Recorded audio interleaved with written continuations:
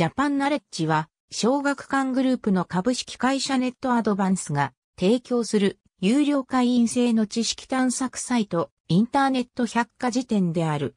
小学館グループを中心に、国内外の出版各社の辞書、辞典コンテンツをデジタルデータとして提供することを目的としている。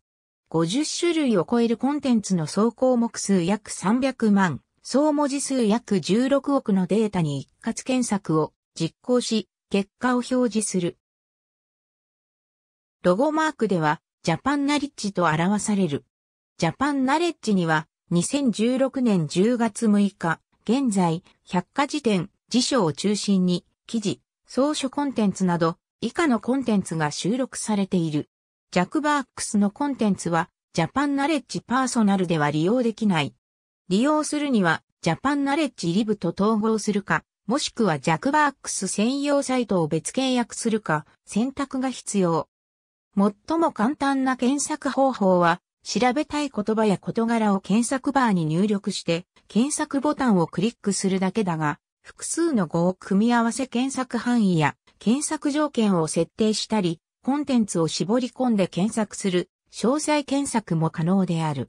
検索範囲は見出し、全文、検索条件は完全一致、前方一致、後方一致、部分一致を設定できる。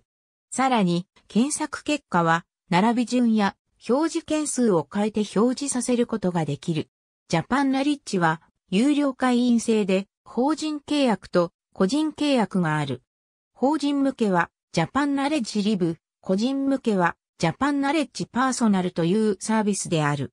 このうち、ジャパンナレッジパーソナルは、JK パーソナルと全コンテンツが利用できる JK パーソナル R の2つのコースに分かれている。ありがとうございます。